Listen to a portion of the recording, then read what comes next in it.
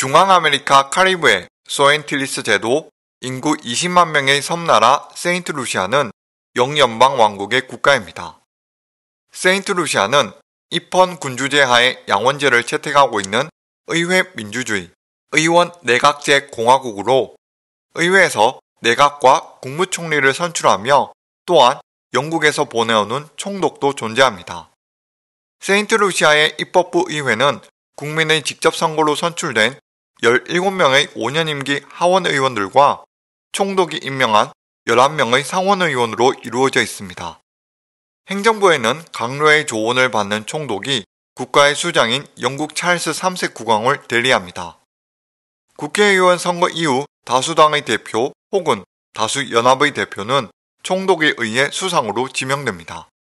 세인트루시아는 지방법원과 고등법원으로 구성된 독립적인 사법부를 가지고 있습니다.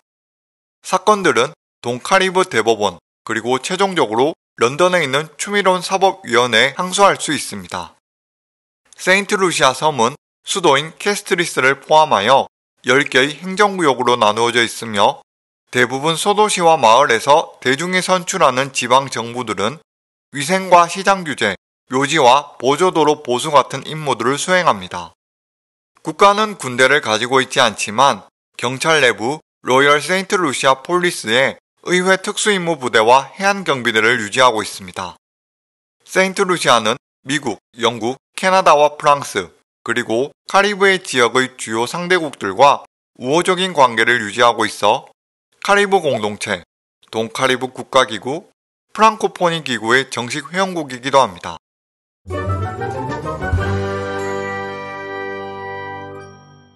세인트 루시아의 경제 활동은 과거 단일 작물 농업으로 이루어졌으나 현대에 접어들면서 관광과 금융 서비스 기반의 경제로 전환했습니다.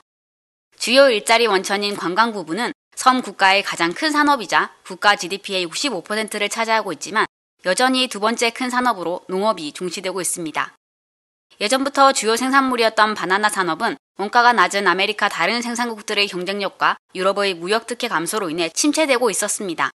정부는 2018년부터 13,000톤 이상의 바나나를 수출하며 농업 산업 부흥에 힘쓰고 있으며 주요 수출 농업 작물은 바나나, 망고, 아보카도 등이 있습니다.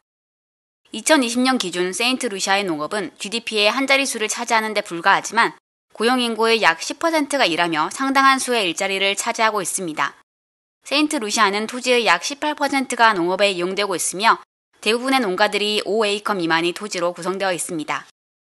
재배되는 주요 농산물로는 바나나, 코코넛, 카카오 열매, 망고, 아보카도, 채소, 시트러스 과일, 그리고 얌과 고구마 같은 뿌리 작물이 있습니다.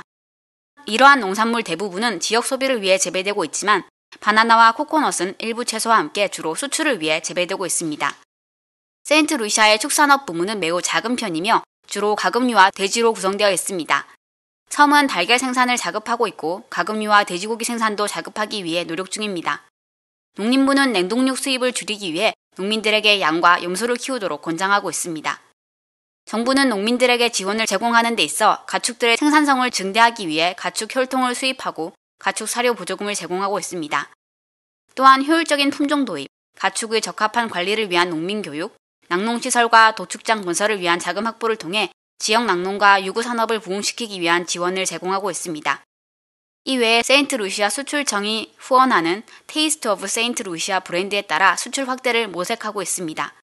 홍보되고 있는 제품으로는 세인트 루시아 꿀, 럼주, 초콜릿, 코코넛 오일, 그래놀라, 곤충 기피제 등이 있습니다.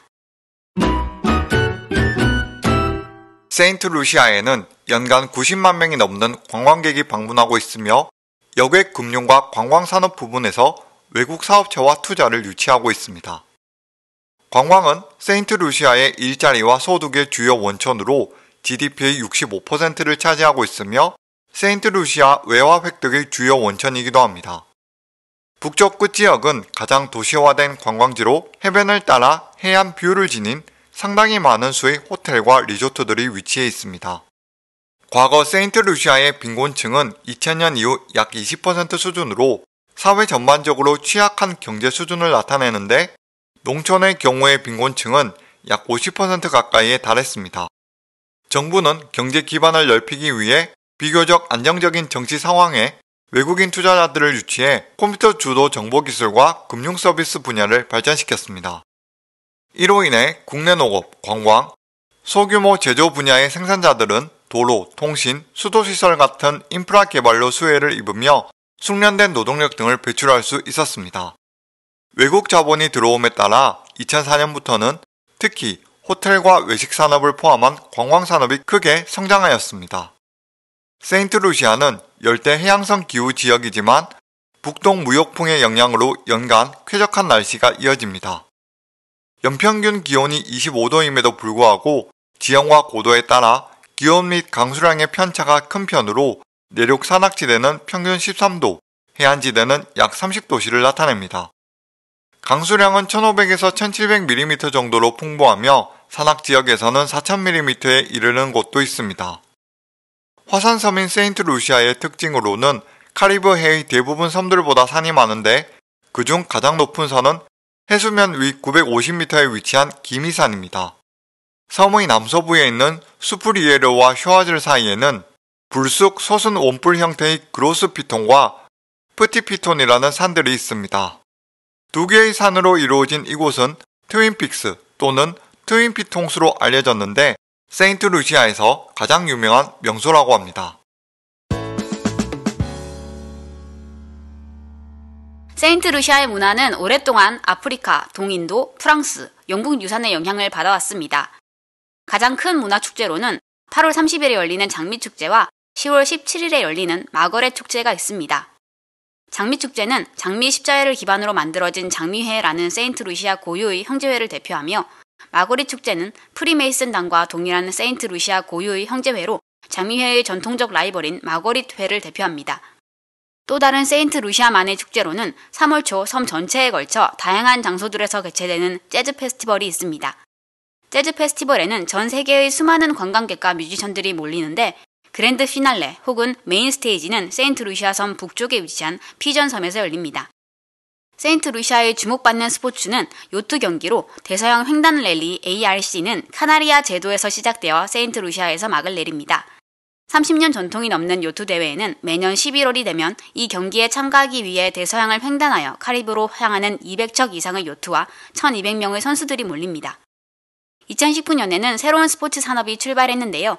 왕립 세인트루시아 터프 클럽이 관리하는 경마 산업으로 첫 번째 경주는 세인트루시아 국경일에 개최되었습니다. 세인트루시아의 음악 장르들로는 칼립소, 소카, 댄스홀, 레게, 콤파, 주크, 살사 같은 카리브 음악 장르들과 함께 강한 토착 민속 음악 전통을 가지고 있습니다. 1919년 이후 매년 5월마다 세인트루시아는 국제적으로 유명한 재즈 페스티벌을 개최하였으며 2013년 페스티벌은 세인트루시아 Jazz and Art Festival로 이름을 바꾸고 문화, 시각예술, alternative music, 교육, 패션과 음악 문화를 다루었습니다. 세인트루시아의 춤은 카리브 문화로부터 영감을 받아 국민들로부터 열정적인 사랑을 받고 있으며 대중적인 민속 무용으로는 콰드릴이 있습니다. 세인트루시아의 요리는 서아프리카, 영국과 프랑스, 인도 요리가 독특하게 혼합되어 있는 형태입니다. 이러한 조합은 마카로니 파이, 치킨 스튜, 밥과 완두콩을 곁들인 요리, 생선 수프, 그리고 지역에서 생산된 채소들로 꽉 채워진 수프 등과 같은 역동적인 요리들을 탄생시켰습니다. 세인트 루시아는 아메리카의 사람들에게 유명한 bake 혹은 johnny cake라고 알려진 튀김빵의 본고장입니다. 이 bake는 홍고추, 녹색고추, 양파와 함께 볶거나 약하게 튀긴 후 양념하는 대구 요리와 같이 여러 요리에 곁들일 수 있습니다. 세인트루시아에서 인기 있는 디저트는 turnover라고 불리는 페스트리입니다. 이 페스트리는 반죽에 속을 채우고 접고 밀봉하여 굽는 방식으로 만들어지는 디저트로 향신료, 설탕 등의 좋아하는 재료를 함께 넣고 끓이는 달콤한 코코넛 절임으로 만들어집니다. 세인트루시아에 거주하는 인도 카리브 인구 덕분에 커리는 매우 인기 있는 요리입니다. 요리 스타일의 혼합으로 인해 커리 요리는 독특한 카리브식으로 변형되었는데 로티는 보통 패스트푸드 음식으로 즐깁니다. 이 빵은 매우 납작하며 빵에 병아리콩과 감자, 커리를 넣은 채소, 새우와 조개 같은 해산물 혹은 닭고기, 소고기, 염소고기와 간 같은 육류를 넣고 싸서 먹습니다.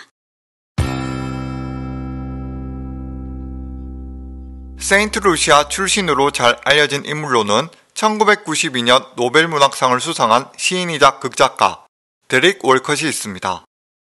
1930년 영국계 아버지와 아프리카 노예 혈통의 어머니 사이에서 태어난 데릭 올컷은 집에서 신앙송을 즐겨한 어머니의 영향으로 시를 쓰기 시작했습니다.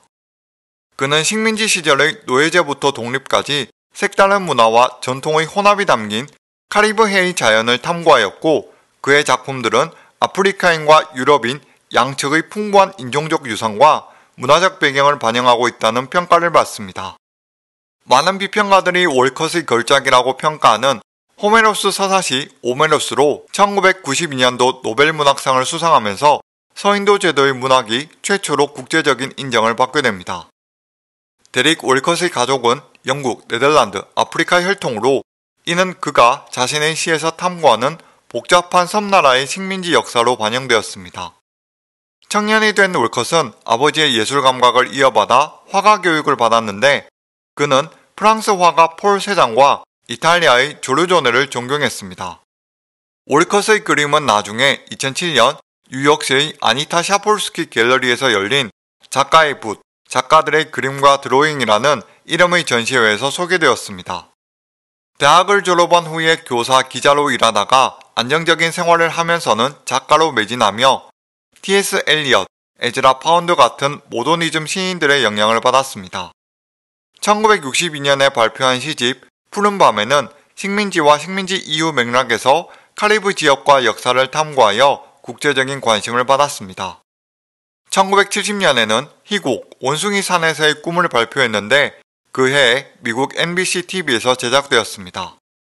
작품의 주인공은 강력한 식민주의자들의 힘에 억압받는 식민지 원주민의 상황을 대변하였으며 1971년 이 희곡은 뉴욕의 니그로 앙상블 컴퍼니 오프 브로드웨이에 의해 제작되었습니다. 그리고 올해의 최우수 해외 희곡에 주는 오비상을 수상하였으며 다음해 월컷은 이 작품으로 영국 정부로부터 오비상을 받았습니다. 1990년 일리아드의 등장인물들을 재창조하고 인용한 월컷의 서사시 오메로스는 월컷의 걸작이라는 평단의 호평을 받았으며 뉴욕타임즈 서평에서는 1990년 최고의 책 중 하나로 선정하면서 각종 언론으로부터 칭송을 받았습니다. 오늘은 재생목록 세계백과 코너 세인트 루시아 2부 정치, 경제, 문화 파트를 정리해 보았습니다. 그럼 끝까지 시청해 주셔서 감사드리며 행복한 하루 보내시길 바랍니다.